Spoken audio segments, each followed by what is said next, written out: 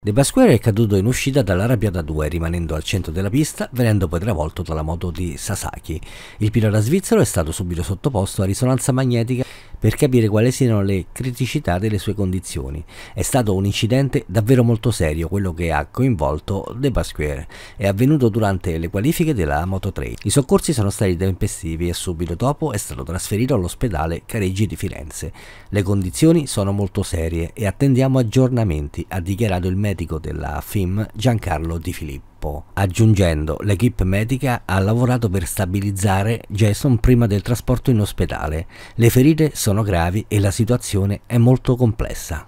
Il 19enne svizzero è stato sottoposto a risonanza magnetica per verificare quale sia la zona più critica sulla quale intervenire con maggiore urgenza.